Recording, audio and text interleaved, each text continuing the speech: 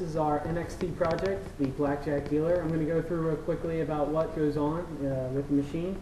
Uh, the first thing is we have our input button. This is going to start the program, and it's going to wait for that. Once that's done, it's going to go to this uh, this wheel. It's going to shoot out one card, and it's going to go straight out onto the table to shoot out to the player. It's not going to flip it.